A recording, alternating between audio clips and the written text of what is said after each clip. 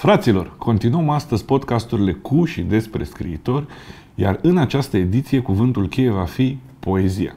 Invitatul meu nu doar că este un poet super apreciat, premiat și tradus, dar are sub oblăduire și multe proiecte care țin de promovarea poeziei și a tinerilor poeți și poetese. Probabil cel mai important, casa de editură Max Blecher, fondată încă din 2010. Și Institutul Blecher, un club de lectură și dezbateri literare care se ține aproape săptămânal din 2009. Se ocupă totodată și de revista Poesis Internațional și este vicepreședinte al organizației PEN România. Voi sta de vorba azi cu Claudiu Comartin ca să aflăm ce se mai întâmplă în lumea poeziei de acum și totodată am să-l provoc să discutăm despre câțiva poeți mari care nu sunt cunoscuți publicului larg, în detrimentul unor aflați și în programa școlară. Și o să vă las o întrebare la care sper să-mi răspundeți în comentarii. Tu când ai cumpărat și citit ultima dată un volum de poezie a unui autor român contemporan? Înainte să începem însă, o povestire funny când am anunțat pe șeful, pe Horia, că vreau să fac un podcast cu și despre poezie, cu riscul de a nu atrage extrem de multe vizionări față de alte subiecte mai controversate, nu doar că a fost încântat de propunere, ci foarte entuziasmat, mărturisindu-mi că n-a văzut niciodată un poet. Dacă și pentru unii dintre voi va fi pentru prima dată când vedeți un poet, sper să vă placă. Hai noroc! Hai noroc! Poezie.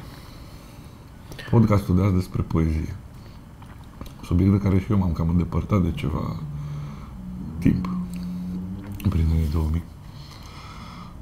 Știi ce eram curios? Că dacă tot am invitat să te desfac așa nițel, până să vorbim de editură, volume și așa mai departe, cum a pornit de la tine poezia? A fost o chestie cum usually se întâmplă în școală sau nu știu o chestie de acasă?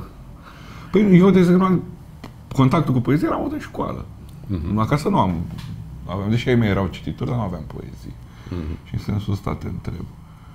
Cred că mai degrabă de acasă. Uh, dar nu în sensul că ai mei ar fi fost cititori de literatură contemporană, ci că în uh, felul lor de a se îngriji de viitorul copiilor lor, a intrat și asta să, ca ei să crească într-o casă cu o bibliotecă respectabilă. Motiv pentru care erau oameni care cumpărau cărți, nu neapărat le și citeau, uh, dar am crescut într-o casă cu multe cărți bune. Sigur, în special proză. Poezia se oprea, desigur, la Nikita Stănescu. Uite, asta este interesant. Da. Și, și cred pentru că la foarte mulți poezia se oprește la Nikita Stănescu. Dar fiind în biblioteca aia Bacovia, Blaga, marii corifei ai modernismului românesc, Arghezii, uh, Barbu, Minulescu, să zicem că am început de acolo, Eminescu. Dar uh, pe măsură ce uh, am asimilat lecturile astea, atât cât pot fi ele asimilate la o vârstă ca aia, 13, 14, 15 ani, am devenit curios și dornic să citesc și altceva. Și am început să dau, după 16-17 ani, și de poezie contemporană de oameni în carne și oase care scriu. Și am dat mai întâi de Cărtărescu și grupul lui, apoi de Ioanes Pop și din aproape în aproape cam așa se întâmplă legăturile astea pe care le fac cei care au o explorare cu poezia. Începusem să scriu, prin clasa 8 cred că am scris un poem din ăsta foarte uh, entuziast, foarte uh, o alergare din asta baladescă. Eram pe atunci influențat și îndrăgostit de Radu Stanca, de Emil Bota, de poeți uh, de factura asta. Poate și tânărul Doinașcu, mistreț cu colț de argint, da? Am trecut destul de repede peste. Deci cam așa a început. Nu în școală, unde se face poezie, cum se face poezie, ci uh, pornind de la cărțile din casă și având eu o o înclinație, o îndreptare spre asta. Nu știu de Love ce neapărat spre nu? asta, da. Că citeam și proză, sigur, citeam și uh, istorie multă, dar uh, asta a făcut un click într-o măsură mai mare decât celelalte cărți pe care le care îmi treceau prin uh, Pentru că mână. unul dintre, nu știu, topicurile, să zic, de azi pe care vreau să le punctăm este acela al uh, poeților necunoscuți foarte tare de publicul larg. Da. Pentru că Sunt o grămadă. mostly nu sunt în... uh, Cei mai Programa mulți, nu? școlară, Aproape da. toți, de fapt. Dar aveți, uite, când vorbești cu cineva de poezie, cum spune ești tu, Nikita, Când vorbești cu cineva Plaga de poezie, și chiar, Minescu, chiar, cu Minescu. oameni, chiar cu oameni uh, educați, cu oameni care sunt uh, Da, dar care- în alte zone cu lecturile la Care- zi. La Da, zi, dar la poezie de vreo 20-30 de ani se vede că de nu vreo au mai 30-40 deschis. de ani. Da, chiar vreo 40 de ani n-au mai deschis nimic și sunt totuși niște generații puternice Da. care s-au învârtit. Sunt 80 sunt 90 cum Ioanes Popin între Cei de după preferații mei. 2000, sigur. Nu cred că sunt nici ei chiar de ignorat. Nu, n-am mai mers până la contemporan, deși o să, o să ajungem și, și uh, aici. Uh, hai să luăm câțiva dintre poeții ăștia. Uitați, pierduți în spațiu-timp de, de public care uh, cumva sunt doar recunoscătorilor de poezie. Mm. Celor câțiva cititori uh, nu știu, rari, selecți, nu știu cum să-i uh, Cei mai denumesc. mulți poeți, majoritatea covârșitoare a poeților din uh, ultimii 70-80 de ani, să spunem, de după al doilea război mondial, sunt necunoscuți publicului larg. Hai să pornim de la asta. Ok.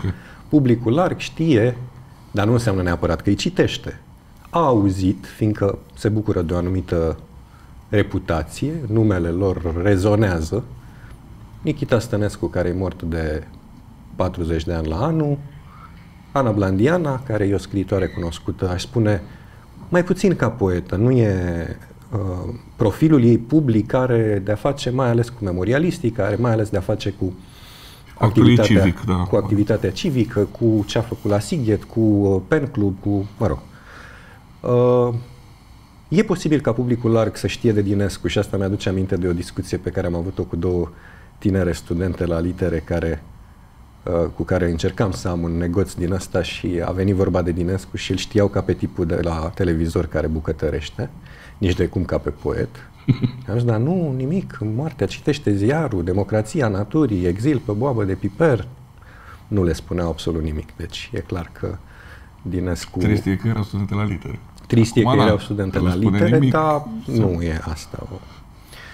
Uh, Bun, sunt câțiva poeți cunoscuți uh, publicului ceva mai larg și o droaie de poeți foarte buni care nu sunt. Dintre ăștia, câțiva sunt chiar anonimi. Sunt chiar dintre cei pe care nici măcar cititorii de poezie sau poeții înșiși mai tineri nu prea îi Dar vizitează. de ce nu-și face critica treaba?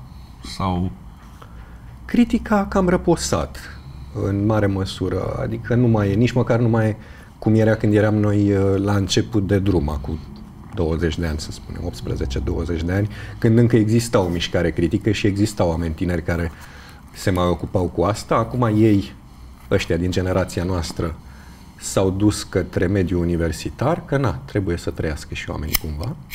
Și uh, critica e făcută în general ori de niște babaleci care nu mai citesc nimic nou de 20-30 de ani, ori de niște oameni tineri care o fac până către 30 de ani când intră în sistemul universitar sau când se apucă de Și iar nu mai un, un citesc. job serios și nu mai au timp să și scrie cronică literară. să se foarte țină tare de cum asta. ai definit critica literară? Din păcate, cam asta e. Deci Două astea sunt uh, propoziții, da.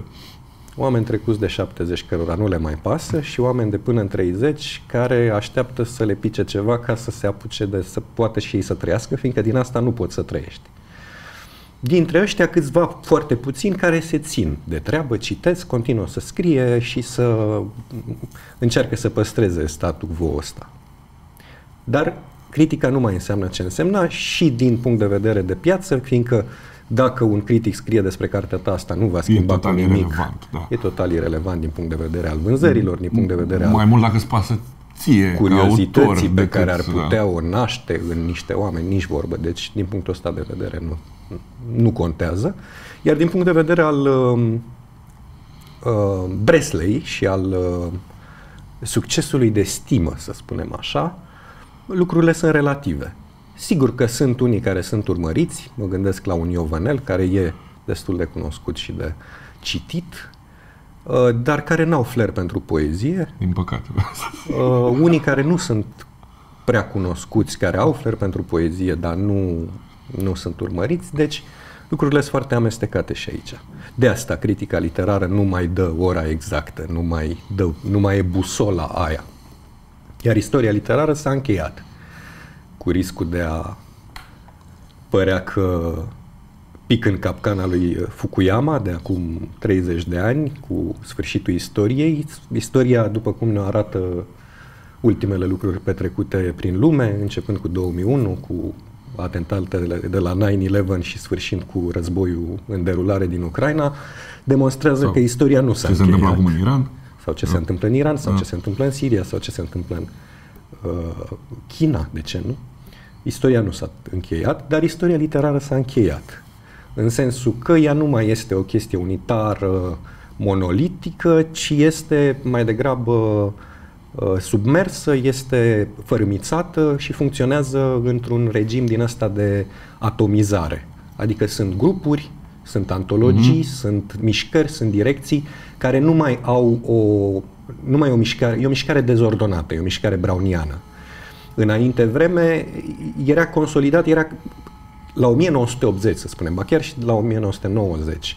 Dacă tu nu știai nimic despre literatura română și te puneai vreo două luni să faci niște cercetări, adică să-i citești pe criticii uh, importanța epocii, să te duci la editurile alea șase, opt edituri importante uh, care funcționau atunci, îți făceai o idee în legătură cu peisajul. Cam Cam asta era.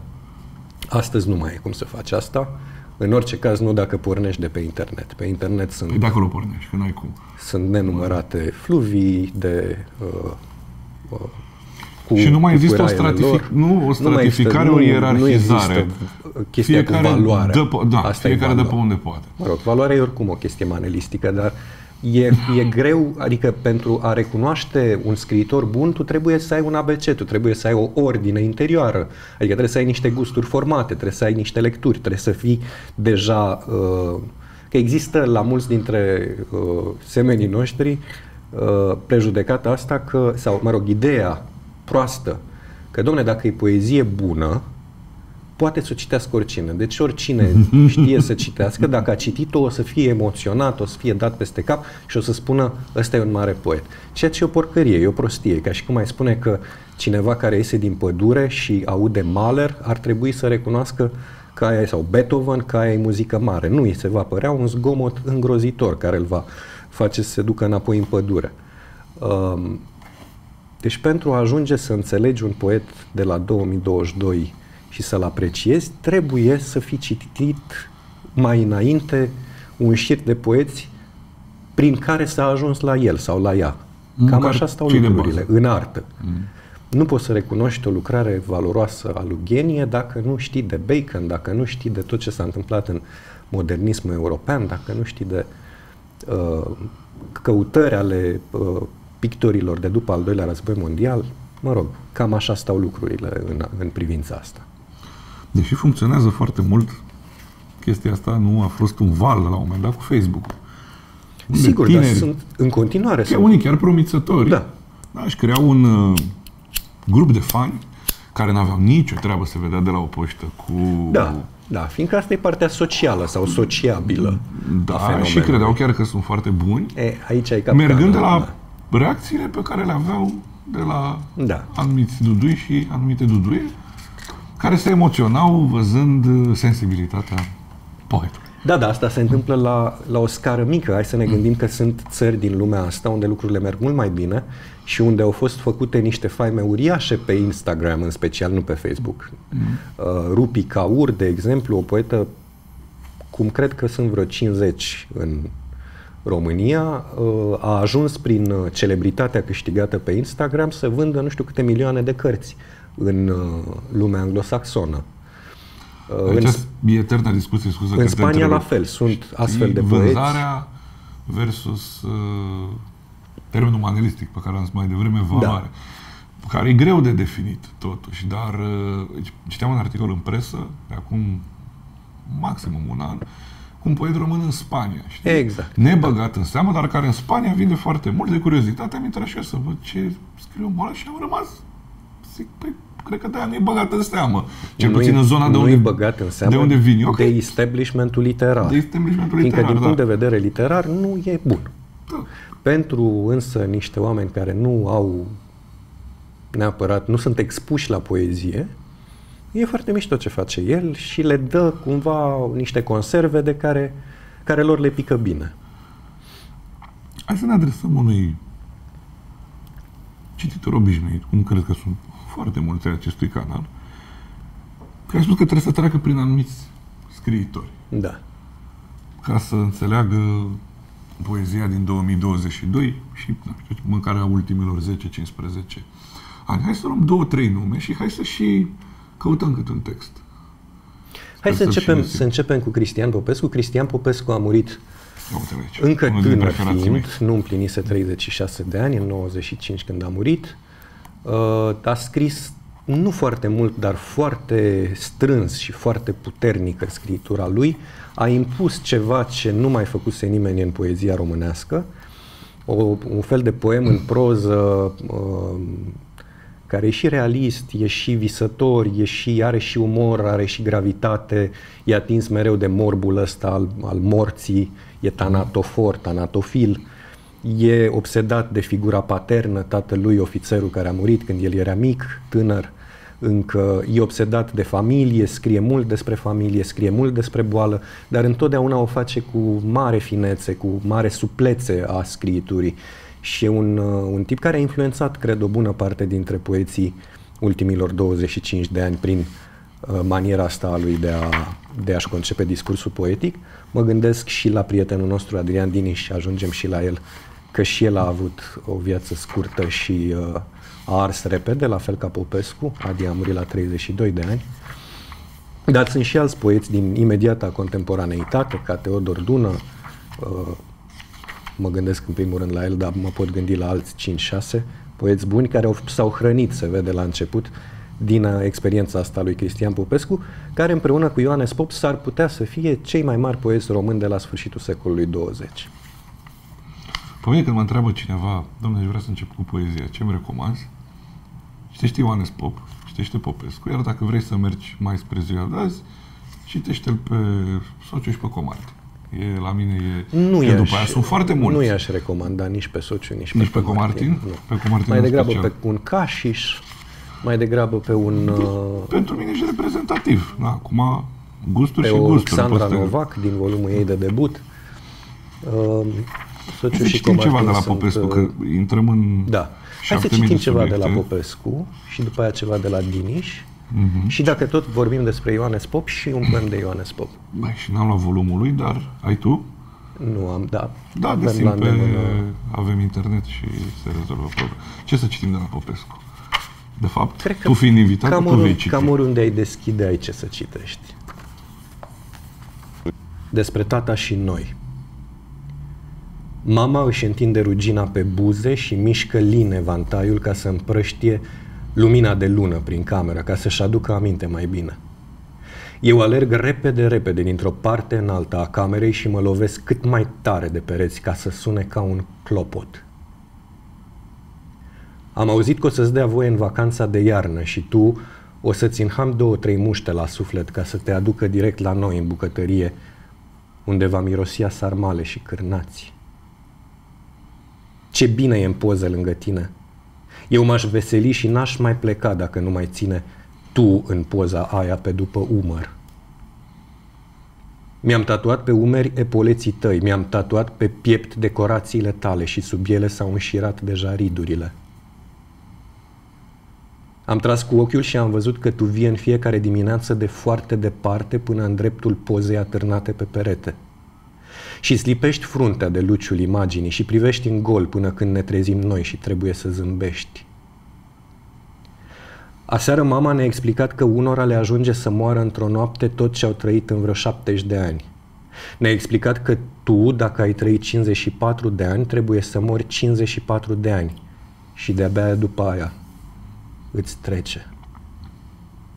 Tu ai fost colonel, eu sunt liniștit. Zodia mea era de mult înscrisă în stelele de pe epoleții tăi. În nopțile de vară, când cerul e senin, iau poziția de drepți. În locul pozei de pe crucea ta am pus o oglinjoară din poșeta mamei și ea vine la mormânt să aducă ceva flori și înainte să plece își aranjează părul și se rujează în oglinjoara aia. Tu ai murit de 10 ani, la mulți ani și gata. Eu alerg repede, repede dintr-o parte în alta a camerei și mă lovesc tare de pereți ca să sune ca un clopot.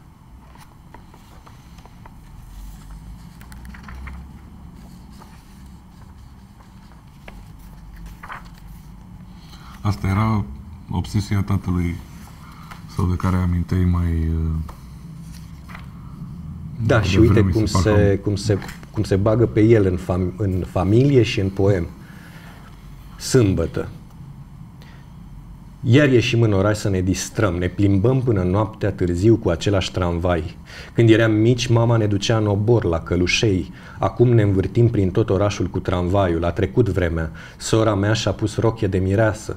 Va spune tuturor, asta e o călătorie de nuntă. Mama o să spele geamurile tramvaiului, o să le pună perdeluțe colorate și va servi pe toată lumea cu bomboane de ciocolată. Cristi o să așeze într-un colț masa cu lumânări aprinse și va împărți la fiecare călător câte o lumânare. Mirele va urca la prima și va începe ca în orice sâmbătă nunta. Toți călătorii vor ciocni pahare, sora mea va dansa cu fiecare. Cristi e un bun lăutar, are o mierlă împăiată în loc de vioară și cântecul i târnă de arcuș ca scrumul de țigara stinsă. Vom învârti pe rând manivela de la flașnetă, ce distracție, ce sâmbătă nemaipomenită. Da, și are petrecerile astea în tramvaiul 26 cu care se plimbă prin București, un București nocturn și uh, feeric și uh, straniu în același timp. Uh, după cum are și așa ceva. Așa, ceva caragialesc, dar un loc în care Caragiale de fapt se întâlnește cu Bacovia. Bem vin, soiuri alese, la birtul înfrățirea. Mama servește, aduce sticle, aduce alte poze din ce în ce mai rumene, mai durdulii. În pahare e umbră. Bunicii mei din flori ciocnesc și cântă. Pozele râd. Mama le ține strâns la piept, se învârte printre mese și dansează. Eu dau noroc și sorb din umbra caldă. E nuntă, liniște. Flutură vântul rufe albe întinse pe frânghie la birtul înfrățirea. Mireasa se învârte printre mese, e tânără, strălucitoare, toți o ciupesc, o cheamă, o sărută. O retușează, o rujează, îi cântă, bem. Umbra se înalță încet ca fumul din pahare. Bunica e fericită și valsează, zâmbește tandru de pe etichetă, de pe sticlă. Și ne cuprinde cu mâinile de după gât, ne cheamă să fugim cu ea în noaptea nunții. Și umbra îi se tot prelinge caldă, grea, pe ridurile frunții. Un poet de familie. Cristian Popescu, două volume de micuțe de opere, apărute la editura Tracusarte. Le găsiți. Familia Popescu Familia este Popescu, cartea lui uh, da. faimoasă. Cred că înăuntru are, nu? E, Asta a făcut-o Da, copie și e o după cea poveste originală. frumoasă Nu? și asta. Ia să o povestim. Hai să spunem povești.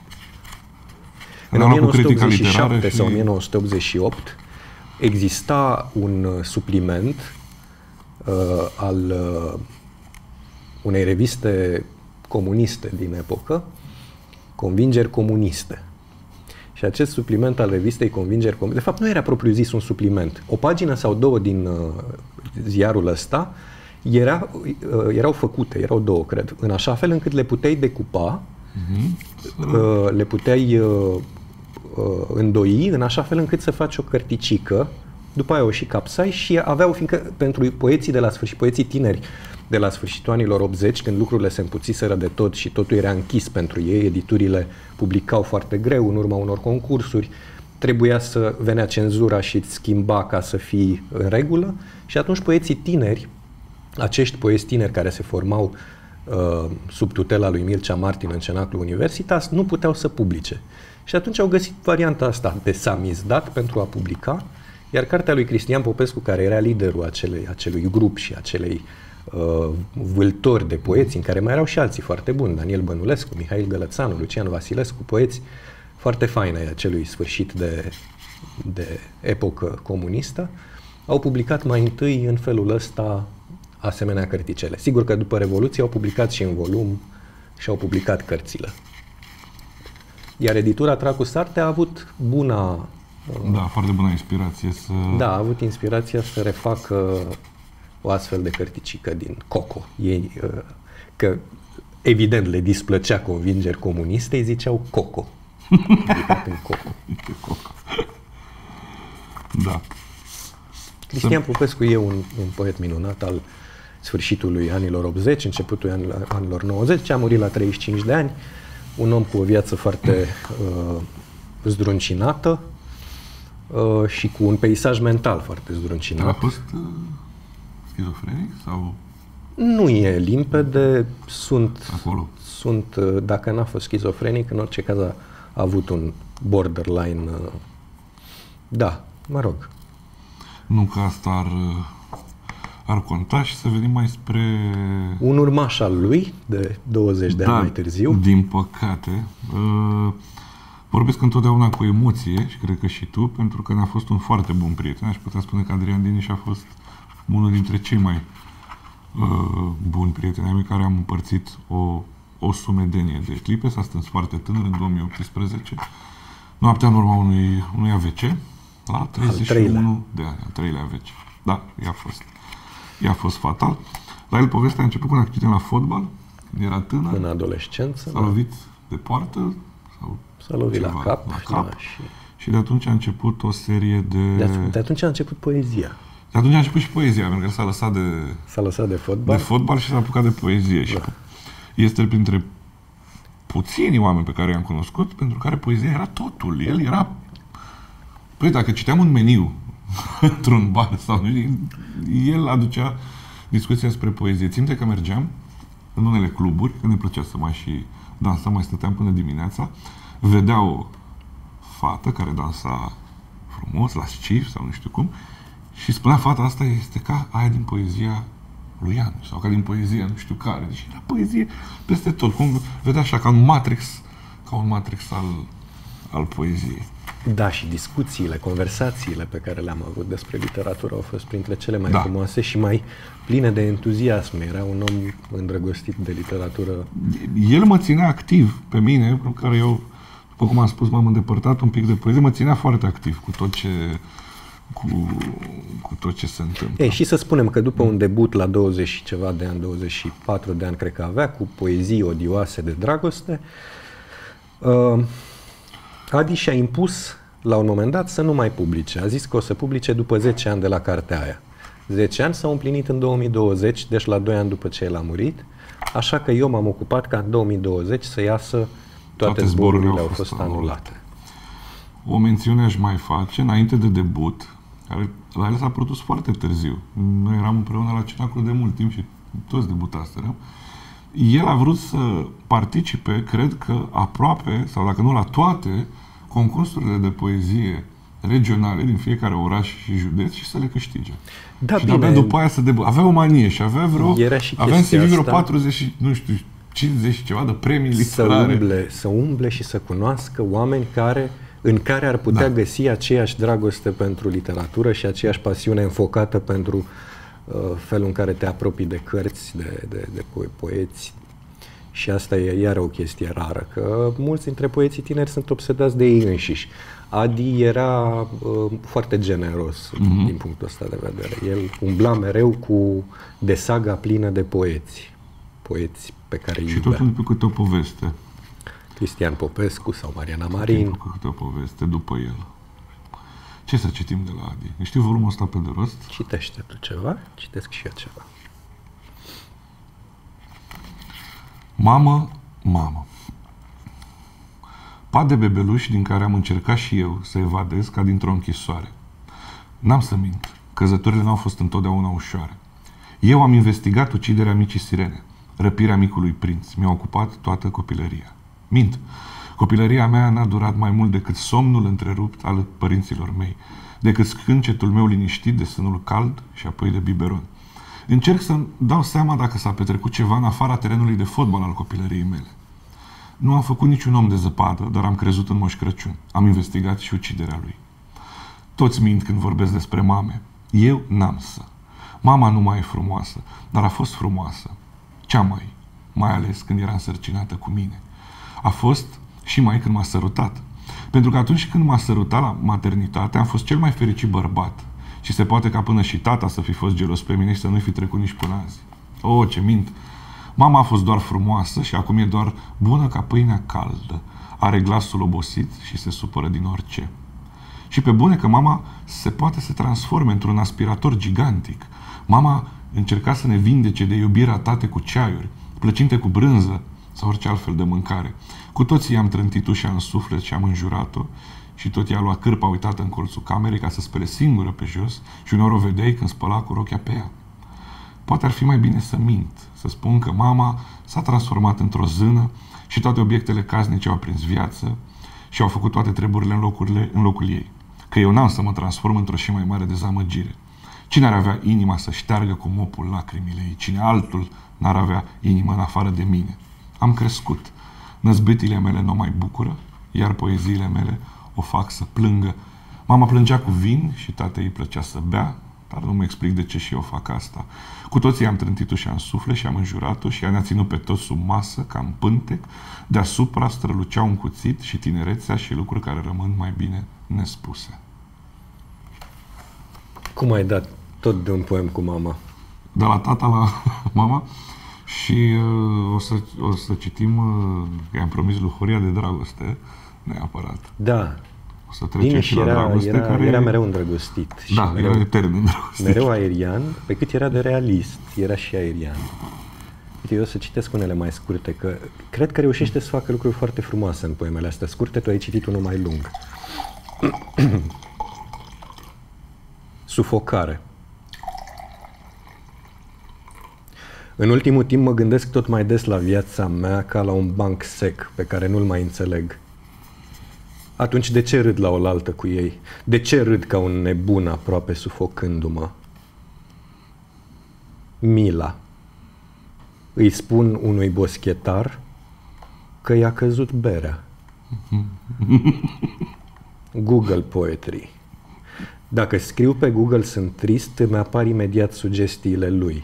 Sunt trist în spaniolă, sunt trist în chineză, sunt trist în toate limbile un robot scrie poezie, poate că totuși așa o să vină sfârșitul lumii. Francesca și Paolo Voiam doar să beau și îmi turna din sufletul ei prea slab pentru mine și îmi spunea că nu-i plac perversiunile, dar ar face orice cu mine, chiar și să citească o carte de poezie. Mayweather vs. McGregor Uneori îmi amintesc de noi și dragostea noastră. Mă gândesc la meciul dintre Mayweather cu McGregor, prinși între corzi, s-au îmbrățișat mai mult decât noi. Printre ei. Stau printre ei și mă gândesc la mine, ca la un cutremur pe care nu-l simte nimeni, deși paharele se mișcă. Ars Amandi, eu n-aș face rău niciunei muște, decât dacă o iubesc. Adrian Diniș, toate zborurile au fost anulate. La casa de editură Max Blecher de care te, de care te îngrijești. Da, Adi ar fi avut 36 de ani. Uh, sunt 4 ani și ceva de când nu mai e cu noi. Și el e, hai să revenim la discuția așa, la conversația serioasă, el e unul dintre poeții generației noastre, pot spune așa, uh, poeții care ne-au fost aproape în diverse momente și împreună cu care am parcurs niște kilometri de viață, care au murit tineri. George Vasilievici a murit mm-hmm. la 32 Chiar de ani, să-l amintesc în 2010, Adi 8 ani mai târziu, Constantin Virgil Bănescu, de fapt a fost primul din, uh, din desantul nostru 2000 care a murit în 2009 la numai 27 Fiecare generație a avut morții tineri, cred că ăștia au fost ai noștri. Da, da, după 2009-2010, dacă ți amintești, uh, era așa o, un fel de spaimă generală că a început, știi? Și a început. Și începuse, începuse într-adevăr. dar uh, sunt, uh, sunt poeți care au ars repede. Toți trei sunt poeți care au dat mult în timp, într-un timp scurt. Constantin Virgil Bănescu a publicat până la 27 de ani trei volume de poezie. Uh, Vasilievici probabil a fost cel mai productiv. Cinci cărți de Cinci poezie sau- și da. două romane. Cinci, dar pe lângă se mai pot aduna. Da. Antologia George Da. Vasilievici, publicată de Hiperliteratura în 2020, e o, Fix pe aia n-am luat-o. o carte de cât? 350 Da, 400 are de și pagini. cele două romane ale lui. Io-Io și menționat. Biseptol. Um, Sunt, sunt poeți cu care se poate începe, dacă vorbeam despre cei cu care poți să începi. Se poate Vasilievici începe. care e destul de, de brut și Vasilievici e, care e brut, e da. foarte ușor de, de perceput. Care e brut, care e halucinat, care e narcoman, care e pe fugă tot timpul. Poezie narcoman. Bănescu Aș care e face zen și care umbla la niște chestii din astea orfice, la niște lucruri de mare finețe și de fapt asta era o terapie a lui, fiindcă el suferea enorm, el era un mare deprimat și încerca să-și exorcizeze uh, demonii lăuntrici prin felul ăsta foarte așezat, foarte oriental de a-și uh, uh, construi poezia. S-a sinucis. Uh, Iar uh, Adi Diniș, am citit din el amestecul ăsta de... Hai să citim ceva din Dragoste Vasilievici, dar nu știu exact Ai la tu- ce... A, Păi caut pe- eu acum, da. că nu, nu am păstrat. Iarăși, din Vasilievici se poate citi uh, mult. Uh, eu am recomandat multora, multora tineri Zi-mi un titlu, ca să mă duc punct un ochii, punct titlu. lovit, um, ca așa mi-apare. Piramida de inimi. Ia să vedem dacă o găsim.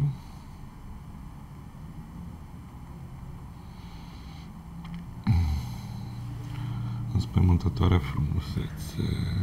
Sau înspăimântătoare frumusețe, care dă titlul părții poetice a E o operei. recenzie la antologie, dar uite că avem și niște texte.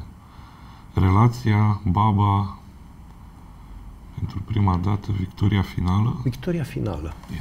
Da, victoria finală. Jucați voi până câștig eu, ne-a spus, și a plecat imediat. De atunci a trecut timpul și nici nu terminasem jocul că am și început să ne certăm care dintre noi a câștigat. Am oprit masacrul nemai știind cine ar fi bine să moară și cine nu. Al cui sânge pune în mișcare victoria. Să vină specialiști. Îl vom aștepta cu victoria vie. Vom face economie la sânge. Sigur se va întoarce. Când ne-am dezmecicit, nu mai era nimeni care să ne lămurească. Ne-am gândit că nici nu a plecat, de fapt, că este unul dintre noi și nu vrea să recunoască. Am devenit agresiv și am pus tot felul de întrebări. Doar, doar vom găsi unul care să știe ceva ce nimeni nu știe. Să-i arestăm pe toți, este spre binele lor, ne-a spus altcineva și a plecat imediat.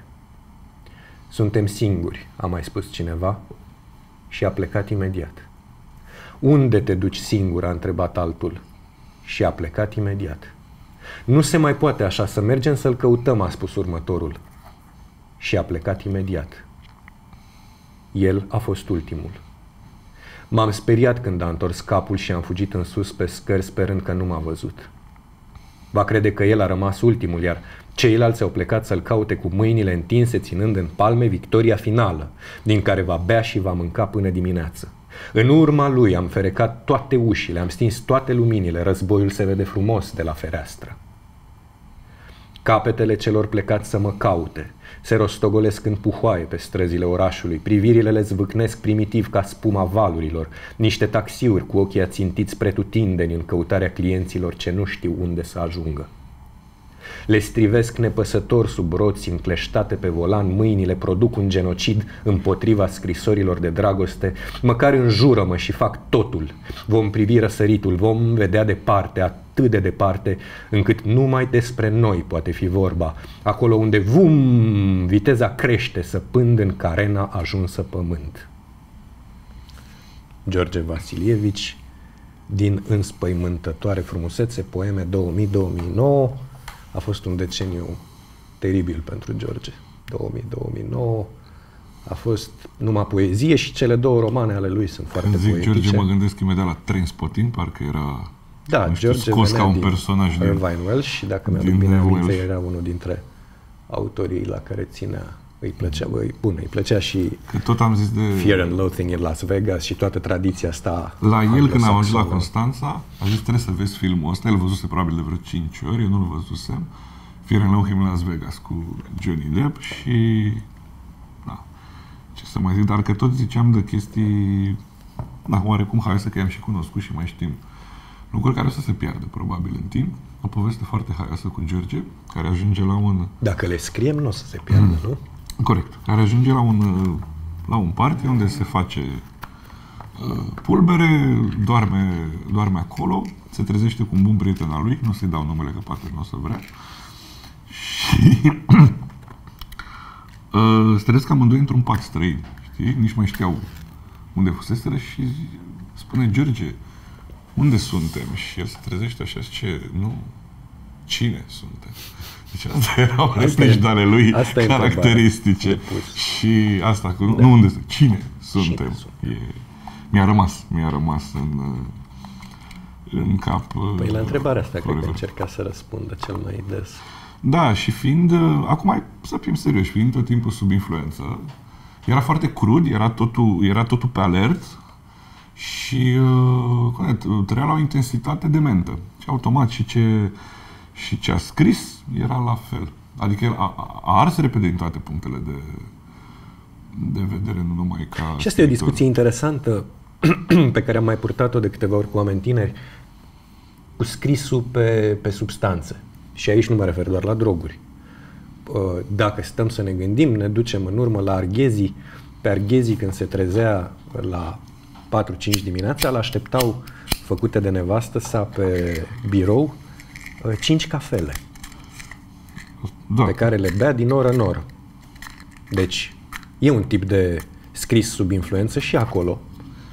Uh, ne putem duce la uh, 60 care știm că au fost aproape toți mari alcoolici, în frunte cu Nikita, dar nu numai Nikita. Da, nu. Și unii în aparență mai cuminți și mai molcomi. Uh, Mircea Ivănescu era un mare, imens băutor de vodcă, dar trăia o beție lucidă mereu și uh, bine, ei erau pe vodcă. Ori vodka, din punctul de, meu de vedere, e la fel de um, și de destructivă pentru creier, în primul rând, și pentru ficat în uh, și, dar și de dă un tip de energie și de uh, inspirație dacă reușești să te prinzi de asta și să nu o iei rasna să te faci mai muță, pe care o dă uh, cocaina sau pe care o dau metamfetaminele. Deci, uh, prejudecățile pe care le au unii că drogații. Hai să fim serioși.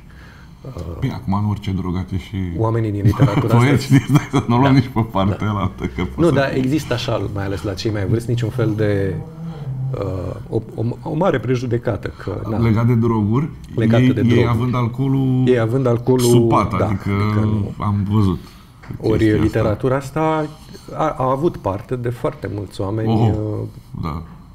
pe toate substanțele pe care ni le Și putem mai ales imagina. poezia. De la Odobescu, Odobescu în secolul XIX, care era opioman, la uh, Ion Barbu, care se droga uh, la Berlin cu eter și de-aia nici nu și-a terminat doctoratul acolo. La Mircea Eliade, La Mircea Eliade, care a despre încercat, care am sigur, citit că Ginsberg, Allen Ginsberg îl căuta, că am înțelesese că avea niște ciuperci foarte bune, Eliade, cred că îl căuta în primul rând pentru și pentru alte chestii. Da, da, da. Dar Eliade firește că studiind uh, uh, religii arhaice și, mă rog, fenomene spirituale în integralitatea lor, trebuia să încerce ciuperci, că, nu? Uh, ca să înțelegi uh, niște fenomene spirituale din America de Sud, din America precolumbiană da, da, da, da, sau da, ayahuasca ce fac și- șamanii. Asta mi-amintește de o întâmplare foarte funny. Eu, deși sunt din București, de multe ori m-am mai mutat cu chirie în centru și tot timpul pe lângă zona Amzei sau chiar în piața Amzei am stat, pe unde era și Nikita și bunica mea, care nu e în București acum, zicea a, te plimbi prin Amzei, zice, când eram eu tânără, erau tot timpul mese pline de oameni destul de beți care țipau și bunicii îmi spuneau ei sunt scriitorii și deci te-ai mutat ca să ajungi și tu Ei sunt scriitor din scriitori. Amzei.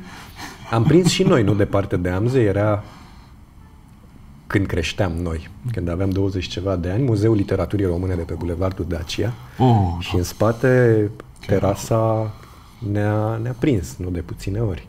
Bine, acolo 80 erau, uh, erau mesele lor. Noi eram încă, uh, băteam la porțile afirmării, cum se zice în uh, almanacuri. Și pentru că vorbim de poezie și am trecut și la subiectul de vicii, propun să citim poemul Alcool al unui alt mare nouăzecist, Da, Mureșan, ca Ion după aia Mureșan, să da. ne ducem și spre Ioanes Pop, că l-am menționat și da, n-am... Ion uh, Mureșan și Ioanes Pop sunt n-am două citit. referințe Uh, obligatorii poemul- pentru mine. Uh, da. Uh, te rog. Tu ești Da, nu o, să, invitatul. nu o să pot să-l spun ca el, care e un performer superb și un tip... uh, Poemul alcoolicilor de Ion Ion, Mureșan. Mureșan. Ca la școală. Vai săraci, vai săraci alcoolici, cum nu le spune lor nimeni o vorbă bună. Dar mai ales, mai ales dimineața, când merg clătinându-se pe lângă ziduri și uneori cad în genunchi și ca niște litere scrise de un școlar stângaci. Numai Dumnezeu în marea lui bunătate apropie de ei o cârciumă, căci pentru el e ușor, ca pentru un copil ce împinge cu degetul o cutie cu chibrituri. Și numai ce ajunge la capătul străzii și de după colț de unde înainte nimic nu era, zup, ca un iepurele sare cârciuma în față și se oprește pe loc. Atunci o lumină feciorelnică le sclipește în ochi și transpiră cumplit de atâta fericire. Și până la amiază orașul e ca purpura. Până la amiază de trei ori se face toamnă, de trei ori se face primăvară, de trei ori pleacă și vin păsările din țările calde. Iar ei vorbesc și vorbesc despre viață. Despre viață așa, în general. Chiar și alcoolicii tineri se exprimă cu o caldă responsabilitate.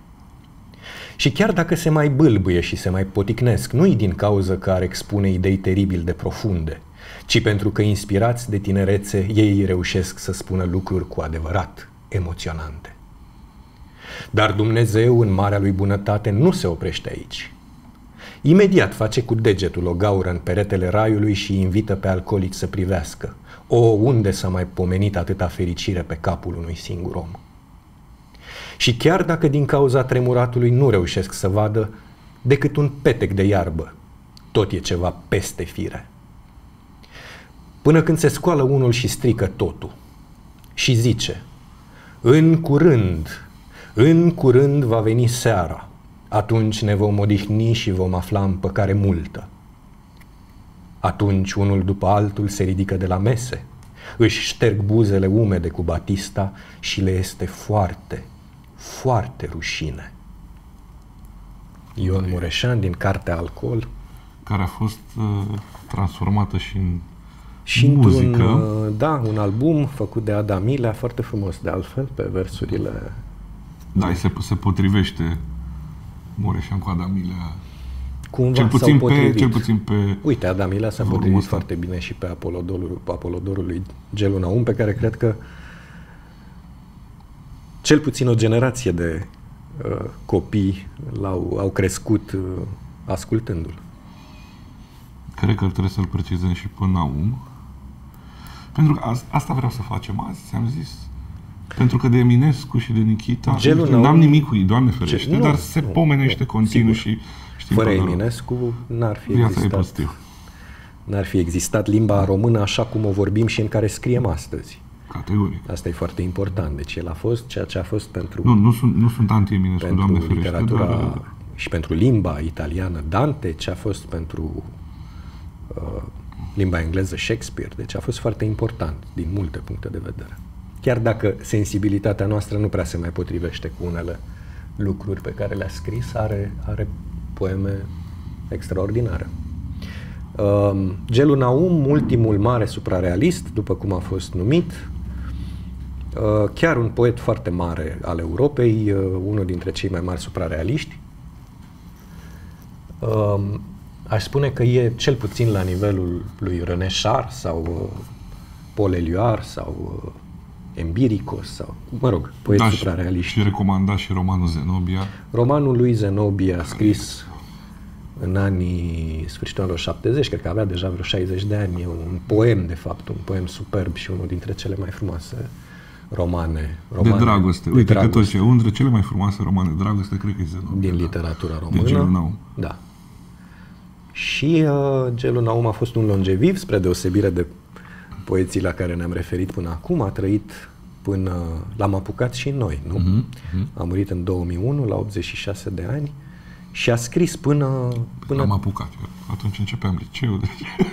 L-am apucat, apucat în sensul doar că așa că știam am- de da. el și uh, știam că respirăm deodată cu gelul Naum. Eu, cel puțin, nu l-am cunoscut. Mi s-a, mi-a propus cineva, Constantin Abol- Abăluț, mi-a propus la un moment dat să mă introducă la gelul Naum, dar eram mult prea intimidat de...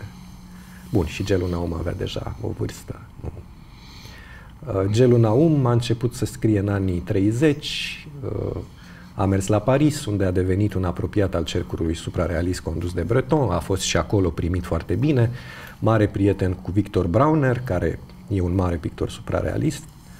Uh, După aia a venit comunismul, n-a mai putut să publice o vreme, mă rog, a publicat niște prostii, dar care nu, pe care chiar el le-a, nu le-a mai recunoscut după și a revenit în perioada de după uh, Ceaușescu, de după venirea lui Ceaușescu, perioada de relativă deschidere de după 65, cu Atanor. Era deja un poet matur, avea 50 de ani. Uh, și după aia au urmat alte 10-15 volume până în 2001, când s-a stins un poet foarte mare. Um, cei doi reprezentanți ai 90-iștilor, nu? pe lângă Cristian Popescu, care considera 90 ar fi Ion Mureșan, din care tocmai Eu am Mureșan citit, e nu? 80 mă rog, dacă ținem Bine, la dacă etichetele ținem la astea etichete, pregătite. încercam doar așa o încadrare spațiotemporală. Da.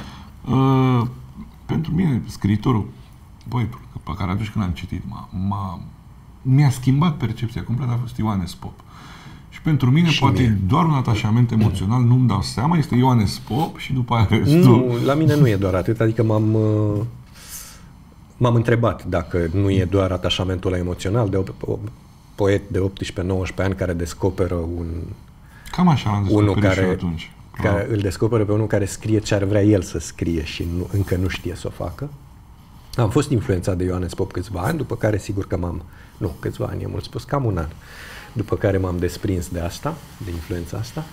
Dar cred că cele trei cărți pe care le-a publicat în anii 90, Eudu fără ieșire, Porcec și Pantelimon 113 bis, sunt cărți superbe și ce a scris el mai bun, sigur că Ioan a mai scris 7, 8, 10 cărți, nu știu câte exact de atunci și nu, nu spun că sunt cărți proaste, nici unelte de dormit, nici uh, petrecere de priet, pieton, dar nu sunt la nivelul acestora trei și în special uh, al cărții cu care a debutat în 1994, Eudu fără ieșire. Aș recomanda pentru cei dacă vor să citească Eudu fără ieșire. Eudu fără Clar, ieșire cel mai bun e o volum al carte mare din poezia Și uite, ultimilor vreau să... 50 de ani. Pe asta vreau să-l citesc eu, știu că îți place și ție foarte mult. Uh, nu mai știu titlul poeziei, dar nu contează. Mă întorc acasă, după ani și ani de umblat prin București, și mă întorc cu o plasă goală în mână și este ea la poartă și îmi zice, păi dragul nostru, parcă ai zis că mergi la câștig, parcă ziceai că tu în doi ani o să câștigi cât alții în patru și uite că acum n-aduci nimic. Ba uite, dragilor, chiar nimic am câștigat. Și aduc atâta nimic acasă cât n-a putut aduna nimeni în ăștia doi ani. Nici n-am putut căra de unul singur atâta nimic cât am câștigat. În urma mea vin carele încărcate cu nimic, gata să se rupă sub greutate. Când or să se deșarte toate în curtea noastră, nimeni nu o să aibă atâta nimic ca și noi. Într-un an, doi, o să fie mai căutat decât aurul. O să vindem din el numai când va fi la mare preț. Fiți siguri, dragilor, atâta nimic n-are nimeni. Doi ani am tot adunat numai cu gândul la voi. Cu ăsta aș fi început și eu, sau cu sunt un bărbat singur. Nu-i nicio mândrie în asta. Doar sunt hoarde de nefericiți care umblă și caută alți nefericiți. Numai că între nefericiți și nefericiți sunt mari praguri de nefericire. Unii au bani mulți, alții au speranțe deșarte. Nu există doar nefericiți de un singur fel. Iar când totuși se unesc, nefericiții fac revoluții, după care li se ia totul.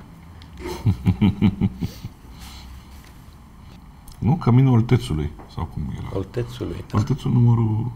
Uite, nu găsesc fix poezia asta. Bine că am găsit-o în engleză. am găsit-o în, în română. La un moment dat uh, am stat la Sibiu o perioadă și pusesem pe...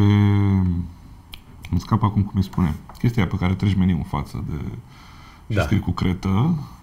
Noi puneam cât un vers, două, în fiecare Frumos. zi. Și l-am deschis evident cu Ioanes Pop și scria mare, aici viața se bea și moartea se, se uită. Da. Nu găsim Oltețului, dar am spus versul uh, Da, asta era. memorabil. Sunt, uh, sunt multe un poet care, da, um, da, poate ceva mai mult decât legătura Este, uh, este. emoțională. M-a, m-a, m-a atins, uh, m-a atins uh, foarte tare. Hai să vedem cu ce mai venit. Am mai venit cu Noi. câteva cărți pe care le-am publicat în ultima vreme. Câțiva poeți faini. În special Ionel Ciupureanu, Hangare. Ionel Ciupureanu tocmai a făcut 65 de ani, asta e cartea lui de la 65 de ani, de ieșire la pensie. Dar mă rog, ca poet n-a ieșit la Era să fac o gafă să zic trecem în contemporani, că parcă Ioanes Pop s-a murit. Trecem, Ar fi în, trecem în Trecem la... contemporani. Da. Oh, te rog, lasă-mă să-mi poveste, să-ți povestesc asta. Eram la Sibiu, la cafenea, unde te-am invitat și pe tine. Acolo treceam Da, noi da, versuri. da. Și uh, l-am invitat pe Soviani, venisei tu și lângă cafenea era un liceu, cred că unul dintre cele mai tari licee din Sibiu și veniseră foarte mulți puști să, să urmărească pentru că erau interesați, era literatură contemporană, mai era și cu Un om viu. cu, na, cu durități, cu cărniță, cu tot ce trebuia. Și începuseră să chiulească, să vină ori să stea de vorbă cu mine, să le dau cărți. Erau puși de clasa noua care citeau Mazilescu. Aia, fără recomandarea mea, deci erau foarte, foarte tari. Și la un moment dat a venit doamna profesoară de limba română de la acel liceu să vadă unde chiulesc bă, ăștia, că, că e un tip care cafenea, care le tot dă cărți și face nu știu ce evenimente literare și citise și ea viața lui Costas Venetis, al lui Soviani și zicea, dar dumneavoastră ce aduceți numai scriitori contemporani? E bună asta. Așa era să o fac și eu acum. Facem o ședință de spiritism. Așa că da, hai să... Păi am zis că cu măștele e mai Invocăm. greu Da. Și uh, hai să trecem la contemporani. Păi, uh, Ionel Ciupureanu e un poet foarte tare care nu seamănă cu nimeni și care are o, o chestie pe care n-am mai simțit-o decât la Bacovia, dar mă rog, e un Bacovia al vremii noastre. Um, și foarte greu să... Adică, ca să-l înțelegi pe Ciupureanu, trebuie să citești ceva mai mult și uh, să citești cu ochii și nu neapărat cu glasul sau Cum nu să neapărat citești să, cu- să auzi. Adică să... Da, da, să-l cite, chiar să-l, Să-l citești, citești. nu să-l asculți, nu să-l uh, Mi se pare că poezia primești așa. bună trebuie citită, nu ascultată. Nu prea merge audiobook. Deși noi acum, na, încercăm. Da, da, nu e, nu e musai. Adică sunt și discursuri poetice, sunt și poeți care nu au... uh, Adică, bun, pe de o parte, există poezie care nu sună foarte bine rostită. Există poeți, și nu puțini, care nu știu să-și spună bine Da. poezia. Cred că cei mai mulți poeți își masacrează poezia. Uh, Dar există și, repet, și poezie care stă mai bine pe o pagină de hârtie decât atunci când uh, ajunge spre organul spre uh, Auditiv. organul auditiv al cuiva. Da. Deci, uh, Ionel Ciupureanu cred că e unul dintre poeții ăștia. Eu o să zic aici vreo două poezii de ale lui. Aia zic, de lasă-ne Așa, ca mostră idee totuși. despre uh, imaginarul lui poetic, da, e... Să ne iubim țara de la un hotar până la altul, să ne iubim și să ne iubim. Vă poruncesc să ne iubim doar pe noi înșine, țară a mea de o vârstă cu moartea. Dacă-i borcan sau uzină, expectorant sau benzină, mișcarea viermelui legănat de lumină. Tu îmi răspunzi, afară e frig, a mai rămas cocaină.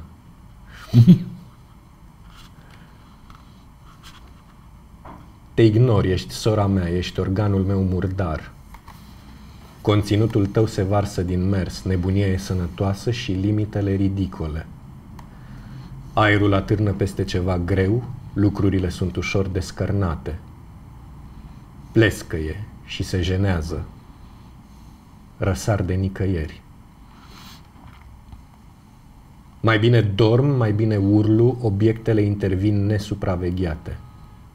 Se transformă așa cum le descriu eu. Spiritul lor îmi amintește că nu înțeleg nimic, le mângâi dezordinea, gustă din satisfacția lor schimbătoare, obiectele se vor lipi de ochi, aerul va mirosi a pereți. Nu puteam să mă gândesc, adică nu pot și nici nu vreau. Am visat o siguranță, tramvaie, bulevarde și vârtejuri. Erai femeie, cuplu, reacțiune, o repetiție până la epuizare. Atelier responsabil șef, grupă de materiale, secție responsabil șef, director șef, birou șef. Facă-se voia ta, nu am de ales. Întoarce-te fără odihnă. Sunt aici și n-am ce să fac, scurmă durerea care mă hrănește. La întâmplare, cu ce nimerești, mi-e teamă de carnea ta îndrăgostită, mi-e frică de întunericul meu și n-am ce să fac. Ionel Ciupureanu, Hangare Am mai adus Nicolae Coande, Nu sunt eu bestia, un poet craiovean foarte solid, și revista Poesis Internațional, că nu cred că ai văzut-o, nu? Numărul ăsta. Numărul ăsta. E numărul 29 din mai-iunie. Numărul 30 apare în noiembrie-decembrie. Mă rog, e o revistă. Eu E un volum de 230 de pagini cu literatură din toată lumea, poezie în special, dar nu numai, și eseuri, cronici. Care e miza poeziei azi? Mamă, ce întrebare ți-am pus. Uh, da, s-ar putea ca miza să fie în zona asta de recuperare a, a limbajului, fiindcă trăim într-o vreme a unui tip de urgență uh, pe limbaj. Limbajul a fost uh, a fost confiscat de tot felul de alte medii, de cel uh, promoțional, advertorial, mă rog, publicitate, de cel uh, cumpără, cumpără, cumpără, de cel politic votează, votează, votează, crede-mă, crede-mă, crede-mă, uh, de cel juridic, toată, toată hărmălaia uh, tonelor de acte în care suntem îngropați pentru orice în lumea asta și care e o limbă de nici măcar de lemn, e o limbă de, de Da, și necesită și aluminiu traducători și autorizați necesită, da. ca să poți să pricepi. Și atunci poezia ar putea să funcționeze în sensul ăsta, să, să ne readucă aminte că limbajul nu e nici în uh, moluri, uh, nici în ce ascultăm la radio, nici în ce ne vine pe Facebook, uh, alea uh, reclame plătite, nici, ci este uh, o, un construct care se adresează emoției noastre, care poate să miște, să pună în. Uh, uh, să, să pornească din nou niște motorașe care au lâncezit, care stau și nu, nu mai produc ceea ce ar trebui să producă în noi, adică să ne pună pe gânduri, să ne creeze dileme, să ne emoționeze, să ne facă să ne simțim ca și cum și am într-un primit mod un mai concentrat pumn decât în o poate stomac. face un roman. și în mod foarte concentrat, că sigur Ca o romanul... pastilă, ca o pastilă, exact așa. Da, Aș, da, uh, ca, o, ca un hap Poate pentru... romanul ar fi un tratament de două luni pe care să-l urmezi dacă ești în depresie. Ăsta e un Asta tratament e pastila de care... cafea sau de... Da. Și sigur poate să se adreseze provocărilor imediatului. Întotdeauna au existat poeți care au vorbit despre vremurile pe care le traversează și despre marile lor provocări. Trăim într-o epocă care are destule provocări. Am trecut printr-o pandemie, mă rog, nu s-a terminat. Da, lumea E un care război. nu citește poezie și a rupt firul cu ea are senzația că ea a rămas, exact cum spunea acum 40 de ani. Pe când dacă citește ce se scrie acum, Și va acum observa că 40 subiectele de sunt ani, uh, foarte de acum. Și acum 40 de ani era un Adrian Păunescu care se, se referea la, uh, la imediatul ăsta. Acum însă, și- sigur, poeții care sunt implicați, care sunt angajați și sper să se vadă ghilimelele din, uh, pe care le-am folosit, uh, fac altfel lucrurile, fiindcă Păunescu a, a viciat, a stricat. Era destul de politizat mult, totuși da, și era- s-a... Dar sunt poeți astăzi care fac un fel de poezie angajată în sensul angajării lor intime, în, nu la modul de tribună, de stradă. Nu vorbim de, de oameni care țin discursuri. Suntem sătui de politicieni și de ideologi. Și poezia ar putea, ar putea să facă tocmai asta, să se strecoare printre discursurile astea uh, de multe ori perverse, de multe ori uh, uh, pline de otrăvuri și să arate că putem să fim mai, uh, mai sinceri, mai puri cu noi înșine. Astea ar fi două Asta ar fi lucruri. uh. Mizele... Altfel, e clar că nu. Rolul poeziei de acum o jumătate de secol a fost luat de, și de alte medii sau de alte. Muzica, Uh, cred că muzica- a făcut o bună parte. Da, da. Sunt formații Dar Dar muzica căror nu- versuri sunt poezie și E adevărat. cântăreți. E adevărat. Doar Întotdeauna. s-a dat și e așa. Nobelul pe...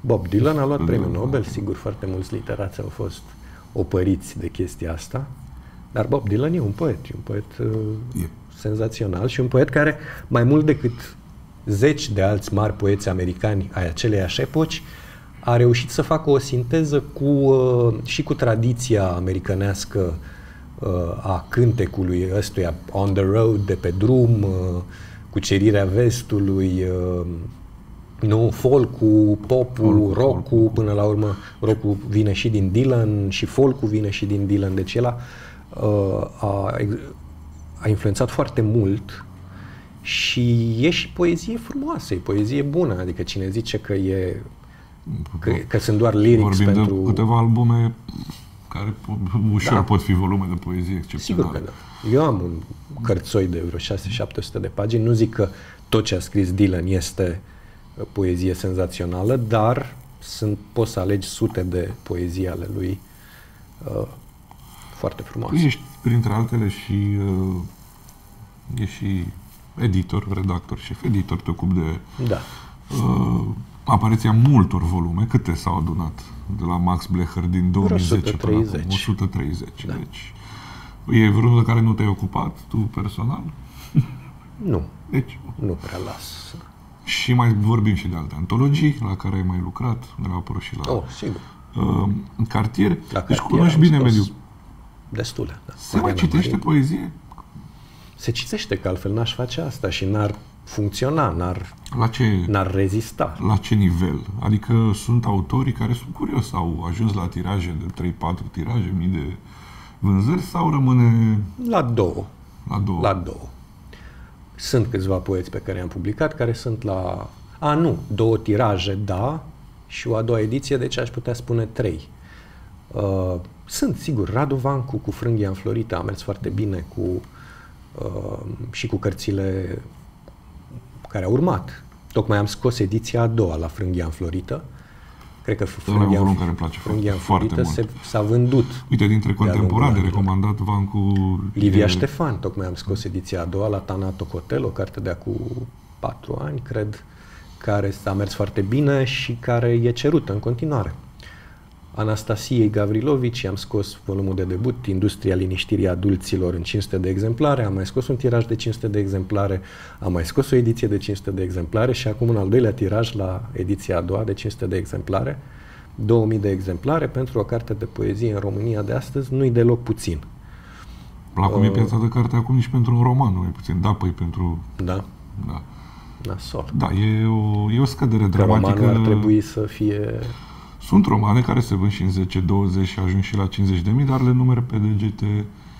Și în general în raportul, exact ce discutam, calitate uh, comercial se duce mult prea, nu ca așa ce comercial, dar e mult prea mult prea jos, sunt rarități piesele uh, piesele grezi, mai ușor cei drept de promovat, dar să știi că n- de, de când a început, a fost toată pandemia și că- de când a început războiul s-a schimbat complet uh, Nu știu. cursul lucrurilor. Eu încă nu mi-am dat seama care au fost urmările. mi-am dat seama care au fost urmările pandemiei, nu-mi dau seama care sunt urmările războiului, dar pe de altă parte mi-aduc aminte de ceva ce a zis Tatiana Țăbuleac săptămâna trecută. Tatiana era în Spania lansarea unei traduceri a cărții ei, a uneia dintre cărțile ei, nu mai știu dacă era Grădina de sticlă sau Vara în care mama a avut ochii verzi, și a zis uh, satisfăcută de chestia asta și mi-a, mi-a plăcut și mie. Aici nu prea se vorbește despre piața de carte, se vorbește despre carte. Mm-hmm. Noi, fiindcă trăim în regimul ăsta de subzistență și într-un peisaj destul de famelic din punct de vedere al industriei de carte, cădem în capcana de a vorbi cam mult despre piața de carte și despre Uneori uh, da. publicul țintă și mai puțin despre cărți. Uneori da. Despre cărțile însele. Dar uh, foarte rar sunt și scriitorii care sunt și editori în același timp. Suntem, și atunci suntem. mai vreau să aflu Mai mulți. lucruri ca să... Duna, Berța, tu, uh, Svetlana Cristian, suntem uh, scriitori și editori. uh, Din Marea, Marele Ocean, suntem câțiva. Da. Dacă, dacă e care știm ce se întâmplă și în, Teodorovici, știm Lazarescu. ce se întâmplă și în spate, știi, cu distribuție, cu cifre, care la E, un moment asta dat contează deja e și o asta, treabă, știi? O treabă care schimbă, schimbă limitele și uh, cursul discuției. Că deja ne băgăm în niște chestii care sunt interesante Nu, că doar aici nu, pentru, nu. Am zis doar așa. Uh, pentru cei din uh, industrie, care nu e o industrie. Hai să spunem că dacă în alte țări există o industrie de carte, în România e o... e o industrie. În momentul în care are câteva milioane de euro, acum, acum na, de 80 de ori mai puțin decât în altă țară. decât în Polonia sau în uh, Ungaria, țări... Mă rog, Polonia e mai mare, dar Ungaria e mai mică, clar. Am citit, am recomandat multe volume, dar n-am citit de Comartin nimic, domnule. Și ar fi păcat, dacă tot l-am avut invitat, pe acest onorabil, um, ce vrea să ne citești? Trebuie să citim lui Horia, poemul Irina, care e atât de vechi de când sunt eu mic, îl știu. Ai făcut un videopoem cândva, Da. acum vreo 2000, 15 ani. sub 2010 era, Da. cu siguranță. Cred că a fost unul dintre primele videopoeme. Ne jucam și noi pe atunci. Mm. Experimentam. În niciun caz nu o să-ți citesc eu poezia. Da, n-am venit cu cartea, dar... Bine, pot să o și spun așa. Da? Ia. Da. Domnule? Hai să vedem. Iată că te verific. Mamă, cât ego. Irina. Îmi amintesc o casă de cărămidă și o alee lungă coborând către o curte întunecoasă în care iarba necosită se ridica în august până la genunchi. Revăd acolo corpul Irinei, prăbușit printre scaieți, gângănii, tufe de cimișir și lumea încetinind în ritm cu freamătul pieptului ei până la o părăsire totală, surâzând extatic. Am în minte glezna aceea subțire, doar puțin înroșită de bareta sandalei, și pulpa albă aproape cântând înfiorată de vântul stârnit din senin. Au trecut aproape doi ani. Este vară din nou, un anotim copleșitor ce îmi dictează și cea mai simplă mișcare. Trupul ei s-a împlinit între timp, părul îl poartă mai lung, mi se spune, iar furia, ei bine, furia mi s-a domolit, distilată prin atâtea lucruri și gesturi. Sunt un om politicos și singur, imaginându-și tot mai des o casă de cărămidă și o alee lungă, coborând către un loc întunecos și rece, fără întoarcere. Da, domnule. Ai sucit vorbe cu gesturile, Chiar așa a fost, da? dar ai sucit vorbele cu gesturile, dar a sunat mai bine cu gesturile. Da, vorbele. Da. Chiar Eh, mi de acum nu lucruri sunt și lăutar. vorbe. uh, mie îmi place un po- poemul al tău, dar îl găsesc foarte greu și nu ai în volum. L-am acasă cu plicul de antrax, cu străinul din supermarket, că eu de sunt antrax. nu, Da. nimicul și lumea împărăția. Îl știi? Că de-a găsit pe net, sigur nu-l găsesc. Pentru că eu sunt nimeni și lumea este împărăția mea. Da. Da. Nu, nu știu. Ah. Am zis că Ajunge, poate Irina. nu. Ajunge. Bine, domnul Claudiu. Înainte să încheiem, mai e un text al lui Adi. Este un text la care știu că el a ținut foarte, foarte mult. Uit apa de ceai să fiarbă pe aragaz și dă pe din afară, apa se evaporă, oamenii fac dragoste. Două legi simple. Dar la un moment dat și oamenii trec în stare de dragoste, sunt în stare de dragoste. Dragostea e ce evaporă oameni. Uneori oamenii fac dragoste și se evaporă în toată camera, atom de gaz, trupurile lor dispersate. Când oamenii fac dragoste, uită apa la fier pe aragaz. Nu acum, aici nu e nimeni să-mi spună că ai uitat aragazul deschis, îl închid eu. Fierb laptele pentru cereale și uit iar, laptele dă în foc, laptele nu se evaporă. Oamenii se evaporă, laptele devine solid, caimac, cleios, întinzându-și firele pe plită și deasupra cratiței ca o pânză de păianjen singurătatea. Acolo, cu cruce de păianjen în mijloc și în jur elefanți și pentru că nu se rupea, au mai chemat un elefant și altul și altul și altul. Există pe YouTube, cine vrea poate să caute, chiar e citată de el la evenimentele alea... La nocturnele la nocturne, de poezie, da. Care e... Da, el o citește cu totul Ca altfel. el. Ca el și nu găsesc pe aia cu școala. Îmi plăcea mult finalul. Da, și a fost foarte frumoasă seara aia. Mi-aduc aminte, au fost vreo 200 de oameni care l-au aplaudat și el s-a simțit foarte bine acolo. Eram în pe strada Arghezii, la rezidența Scena Nouă, în curte. Mm-hmm. Sunt vreo 5 ani de atunci. Hai că devenim melancolici, găsește poemul ăla odată. Asta încerc.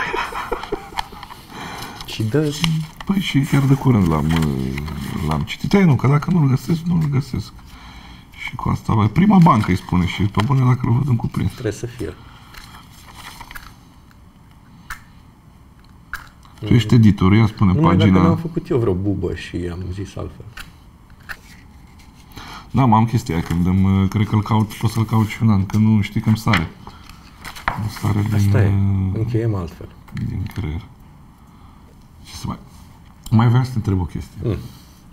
Care din punctul tău de vedere poezia la care te întorci? Poezia care e completă pentru tine. Bine, Știu, știu că întrebarea tâmpită nu poate să fie doar una. Dar totuși, dacă e să facem. Foarte greu. Zeci. Uh, hai să citesc ceva din Mariana Marin, care a fost o bună prietenă și o poetă minunată a generației 80. Iar eu știu ce fac în timpul ăsta. Când o să revăd podcastul, să-mi dau seama pe cât i-am uitat. Și acum am găsit din prima, vezi? Dark Ages Un copil cu ochii de câine m-a întrebat într-o zi dacă este greu să ajungi scriitor. Era iarnă și totuși ploua pe drumul scurt dintre școală și casă. Gunoaiele tăvălite de ape se spălau cu frenezie, până și gunoaiele voiau să se spele. Le simțeam bucuria când o băltoacă mi-a mângâiat tălpile prin pantofii vechi. Laptele nu venise. Ne-am așezat cu minți, o, mult prea cu minți, la coadă, dar n-am rezistat. Era mult prea frig. Câinii cartierului începuseră să latre, bezna era tot mai groasă, n-aveam mănuși. Țipenie de om zăcea lat la intrarea în casă. Pană de curent și el cu pană de gaz prin cotloane la bârfă, frig, foarte frig, frig și gheață, greață. Un copil orfan m-a întrebat într-o seară, pe drumul scurt dintre școală și casă, dacă este greu să ajungi scriitor. Un ochi de câine bătut i-a răspuns altui ochi de câine bătut, să privească mai bine în jur, până când o să învețe să muște, să-și îndrepte gâtlejul și sufletul când stelele sus, moartea aproape. Asta e reprezentativă de Mariana Marin. O altă. Claudiu, îți mulțumesc mult pentru, pentru ediția asta. Nu știu cum o să reacționeze publicul, pentru că am învățat o chestie în experiența asta mea minusculă, că cine nu are organul pentru poezie format sau dacă a ajuns deja într-un punct și n-a avut nicio tangență, nici nu o să aibă Da, dar poate să aibă și să nu, fie, să nu fi fost descop- Sau poate l-am deschis noi descoperit pentru încă. unii. Vai da. ce mișto ar fi. citesc un poez mai lunguț, dar merge repede și cu asta vreau să-l închei, pentru că are și finalul pe care mi-l doresc. Pentru că am mers pe lângă programa școlară, pe lângă... Slavă cerului! Da. Prima bancă, Adrian Diniș. Stau printre ei și mă gândesc la mine. Elevul din spatele clasei scrijelim băncile, trimițând avioane cu mesaje de ochiate, excesul de zgomot din clasă al cărui al căruia nu el este creatorul, a retrogradat și profesoara l-a trecut în prima bancă. Chicotul de diavolița al Angelei, băieții rei și țigările la bucată interzise din pauză, florile care se revoltă împotriva primăverii și a regulamentelor, liliacul care înflorea pentru noi și în noiembrie, rochițele scurte care intră la apă, dezvăluind mai mult taigaua siberiană și triburile invadatoare ale lui Gingis Khan, care se revarsă din sutienul prea strâmt, cât de singur se simte acum piazarea din spatele clasei, printre tocilare din față, bine ai venit în prima bancă, în lumea reală, unde se ridică mâna și toți știu răspunsurile, unde se stă cu mâinile la spate și nu se vorbește neîntrebat și toți se ridică atunci când intră sau iese profesorul, unde toți au temele făcute și caietele liniate corect până la ultima pagină și o linie în penar în caz că Aici nimeni nu uită anii bătăliilor sau în ce dată suntem și așează ca pe icoanele în calendarul ortodox, în colțul din dreapta sus al paginii. Frumusețea din spate a devenit aici doar gume lipite pe sub bancă și nici măcar o catiușă care să roșească atunci când minte. Că și-a uitat caietul acasă care să-i da să copieze la teză, să-și șoptească, să-i strângă părul franțuzește, să figă în el creionul ca într-o casetă audio, să-l rotească, până îi pune la loc banda stricată, melodii care nu mai există, să o scoată în oraș, cu un pahar de fernet branca în față, să înfigă furculița într-o porție cinstită de carbonara, firul de spaghetti să nu se rupă, pentru o clipă luna să nu se mai învârtă, să nu mai scoată soarele la tablă la ora de fizică, Bing Bangul să-și șoptească, o supernovă le dă clasă, le va da peste cap toate teoriile, mânjit pe degete de praf cosmic, profesoara îl trimite la baie să se spele decretă, muie lume reală, muie doamna profesoară. Mersi pentru invitație. Cu drag.